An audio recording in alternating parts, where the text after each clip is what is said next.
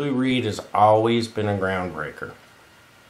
From his days in the Velvet Underground when he made music that people couldn't quite understand, except for the, you know, the joke is the 2,000 people that bought the first Velvet's album, they all started bands. Pretty true, you know, influentially.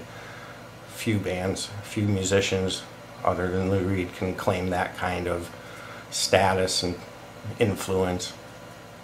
But in 1985, Lou kind of broke boundaries and caught a lot of flack for doing a TV commercial.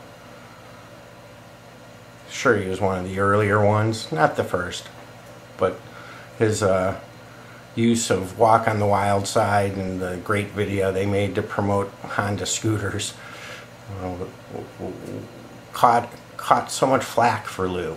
And look at what's happened ever since then.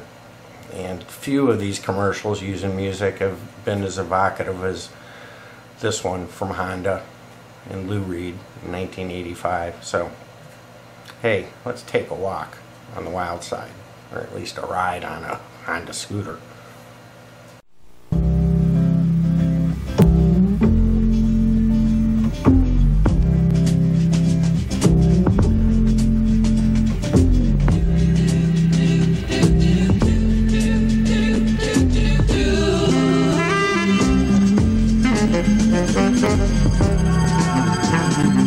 Hey, don't settle for walking.